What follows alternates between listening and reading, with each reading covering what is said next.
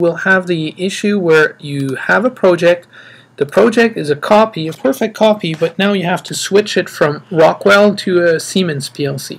So what you can do now, uh, using an interesting option, even though you don't have that option, you can still do it. I'm having this uh, Siemens uh, PLC being used. So instead of using the Allen Bradley 1756, I'm going to switch it over to a Siemens uh, PLC. Now, as I check this checkbox here, my page in the background will disappear and a new page will appear instead. Of course, I could have uh, created that page. And uh, I'm replacing the overview page of the Allen Bradley for uh, the uh, Siemens overview page. Now this actually created uh, in ePlan using the options module two different pages as you can see down at the bottom here. I'm going to open one of them and you will see we have a complete different uh, system here. Uh, this particular system here what we do have is a Siemens PLC, Siemens PLCs with Siemens cards and at this point here, uh, of course, if we uh, look at uh, Siemens uh, input or output, the I.O. addresses will also be different. So you might actually want to consider an interesting feature of ePlan, which is the PLC readdress. I'm going to show it to you here. Uh, we pick basically the existing PLC card that we want, and using whatever PLC configuration we have, let's assume this is a European version of it start with 0.0, so for the first one, it goes down and readdresses all the addresses on this page. Uh, on the next page, I also have a few uh, cards. I actually have two of them. I can do the same thing again, just to show you what we do is we select actually the, uh, the PLC cards that you want to renumber. I could have done the whole project at the same time, but I just want to show you how this works. PLC, PLC address, and here you specify what the starting address is. Now uh, here it automatically picks up that we already had up to uh, 3.0 on the previous page so here it just proposes 4.0 as your uh, possible address. Now of course this now renumbers all the I.O. addresses. I'm going to show you. I'm, I'm going to zoom in uh, so you, you can see uh, better here. You can see the different I.O. addresses that were actually done.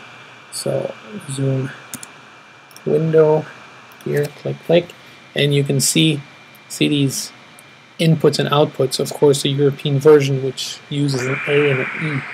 Now, what is missing is the correction of the schematics. In the schematics, I may have multiple different schematic pages, like this one here. Let me just show you. These are actually some inputs. And uh, these inputs uh, are still with the pins and I.O. addresses of the Allen Bradley, as you can see here. So what I'm going to do in this particular one is I'm going to show you that I can reattach all these drawn input schematics to the overview.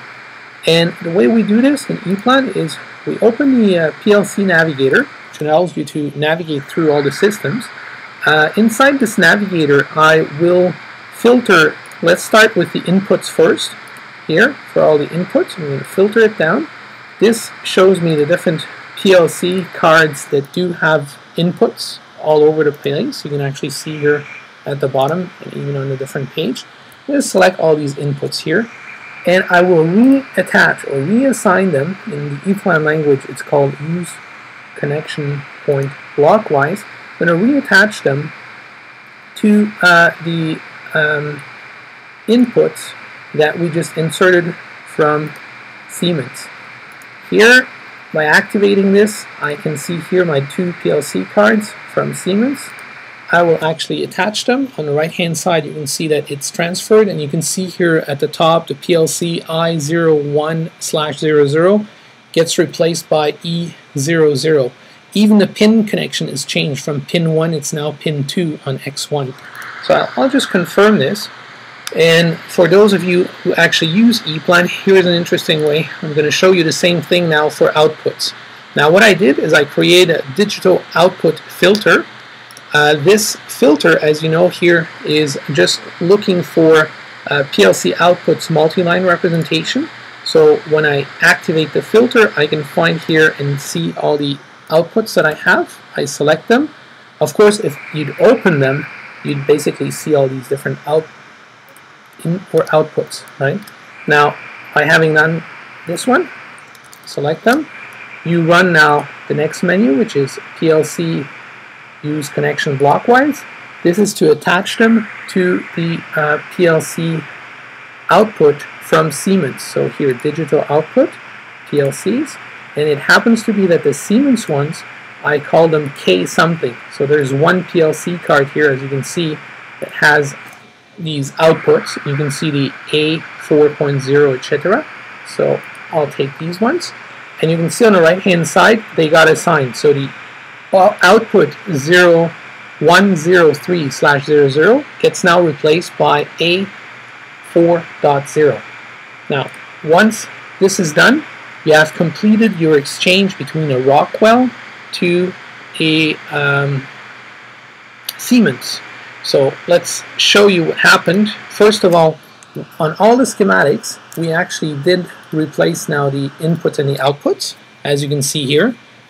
And you can see here E0.1, if I double click on it, you will see that it's actually pin 3 instead of what it was earlier, pin 2. All this is actually done. Plus, what it also did on the overview page, it actually linked the overview page with all the details that are typically expected on the overview page. Uh, here, I'm going to show you, I'm going to zoom in on the right corner here, and you can see what we do in ePlan with this overview. We can give you in one small view the usage of each of these inputs and outputs and where they are on which page. Some of them are on page 50, some of them may be on 51, etc. So this was exchanging an Allen Bradley PLC to a Siemens PLC in an existing project, readdressing everything and resetting all the pins. Now, of course, everything is set to go